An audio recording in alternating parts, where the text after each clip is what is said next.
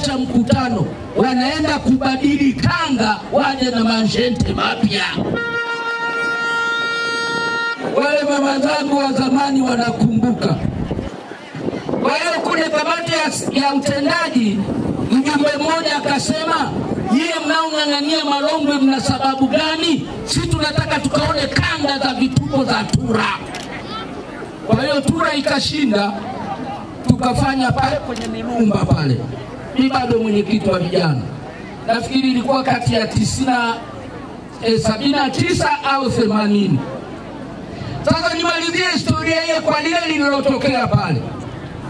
Mama zangu akaja na kanda, kila mmoja anamsema mwenzake.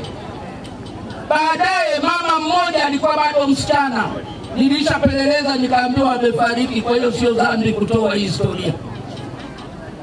Akaona moja imemsema mia kwa mia yeye, akaamua na yeye akabadili kanga.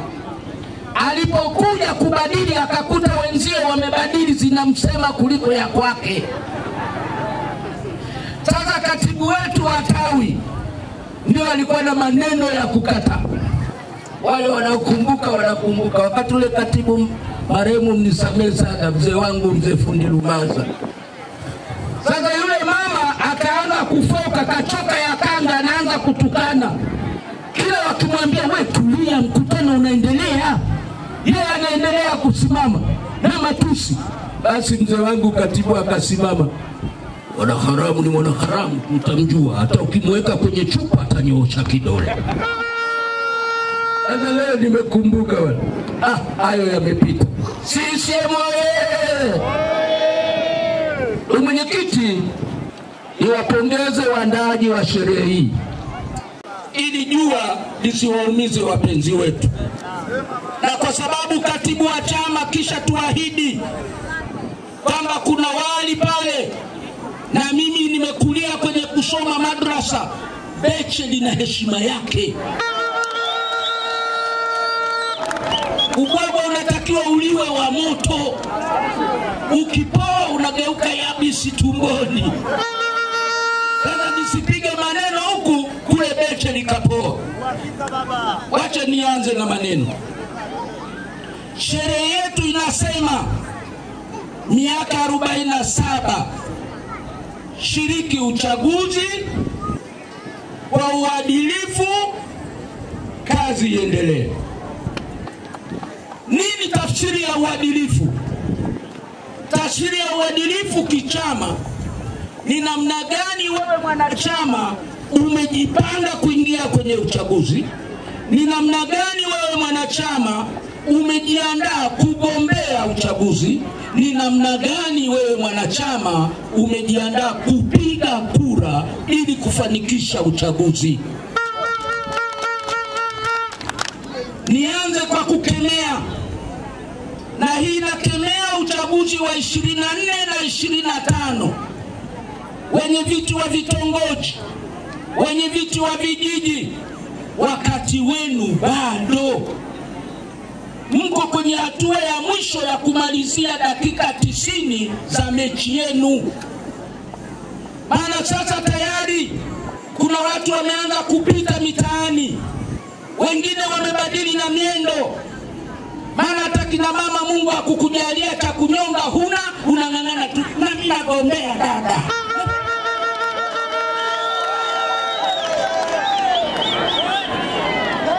CCM oye! Nasema wakati mpira ni dakika wewe kama unaona dakika tisini hazina manufaa, waulize Singida United yaliwatokea nini Zanzibar huko. Tu dakika ya ngapi hiyo. Wewe mwenyekiti, na waombeni viongozi mlioko madarakani, wenye viti wa vitongoji, wenye viti wa vijiji, msibweteke, fanyeni kazi ya kukijenga chama kwenye kitongoji chako, kwenye kijiji chako, mpaka filimbi itakapopulizwa kwamba sasa tunaanza kugawa fomu. Wewe mwenyekiti wa kitongoji, kama bado una hamu ya kugombea, wala usianze kuwanunia wengine. Wewe utanunia wangapi? Wewe sahihisha makosa yako ambayo unaamini yatakupeleka kwenye uchaguzi. Na kama mwenyekiti wa kitongoji ulikuwa huwatembelei wananzengo wako, ukienda kwao ama kuwatoza masumule ama kualika mikutano, tukimaliza mkutano huu, kesho anza kuwatembelea nyumba kwa nyumba.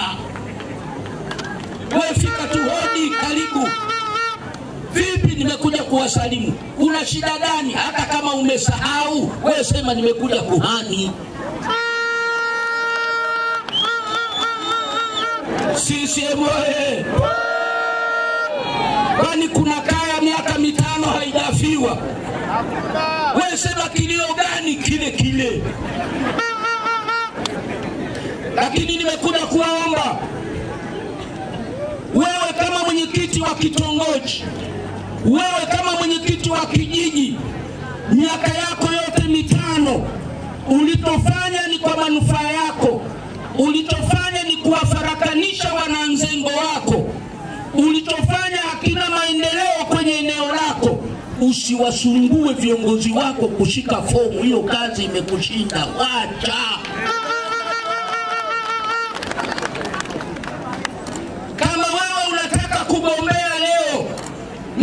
Na unajua tabia yako mbaya kwenye kitongoji, tabia yako sio nzuri kwenye kijiji, usigombane na vikao vya kukuchuja.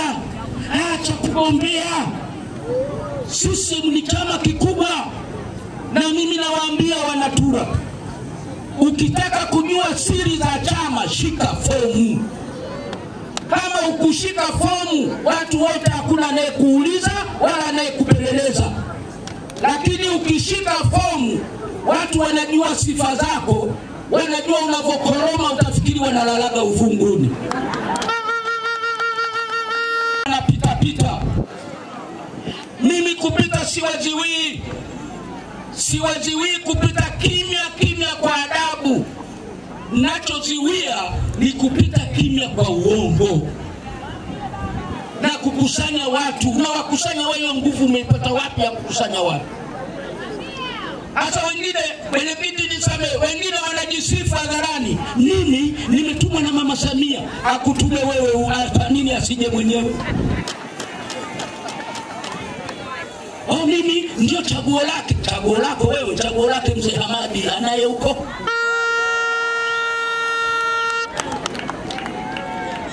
chagua njaa yako tu ndio uchafue watu.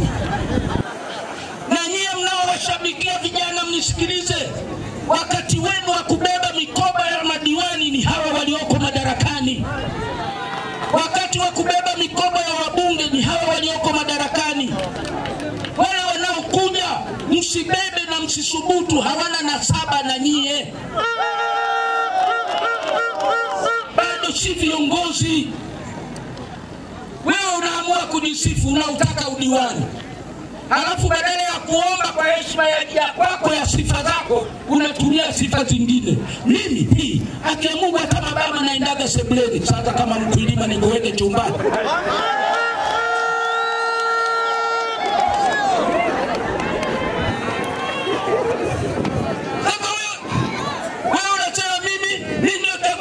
nikuchague wewe na wanachama wangapi kwenye mkoa huu?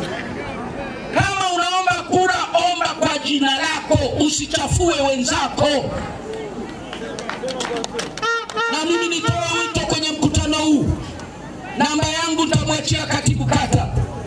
Kama kuna mwanachama yoyote amepita hapa Tura au Kizengi au mkoani akasema yeye ametumwa na fulani ama ni rais ama waziri mkuu ama ametumwa na Wakasui, ukimsikia nipigie simu na namba yake.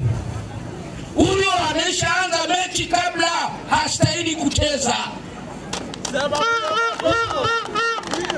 Narudia, kama kuna mtu yoyote, maana huyo maana yake hajiamini. Ukijiamini, si unaenda kwa jina lako? Kwa nini utumie majina ya viongozi wako? kwamba ametumwa. Chama hiki hakitumwi mtu. tutatuma wakati umeshateua, tutakuja tutasema vikao vimemtuma huyu na tutamwombea kura.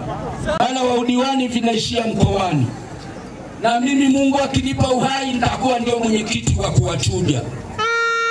Na wapieni, ukianza kucheza mechi kabla, wewe hustahili, hustahili kabisa na wale mnaotumia majina ya viongozi hasa wa ngazi ya ubunge, nataka niwape siri ya hadharani. Kule taifa kule, nafasi ya ubunge kuna vikao vikubwa vinne. Wakulima hawa nyimani mbegu. Wewe kama una malando, wewe kama una mbegu za mihogo, mwenzako akija kukuomba, tafadhali wape mbegu. Lima lima malando, upate viazi, lima muhogo, akiba ya chakula. Kama mahindi yameharibika, muhogo utakuokoa. Hata sherehe kama hii kule Kipalapala nilisema maneno haya haya, wakulima msinyimane mbegu. Tulipotoka mkutanoni, vijana wakaanza kuwafata wasichana. Mwenyekiti wa mkoa amesema tusinyimane mbegu. Wewe, mimi nimesema wasimenye mbegu ya marando na ile mbegu nyingine hawajimani, wanaombana kwa tafadhali. Nashukuruni, asanteni sana na sherehe ziendelee.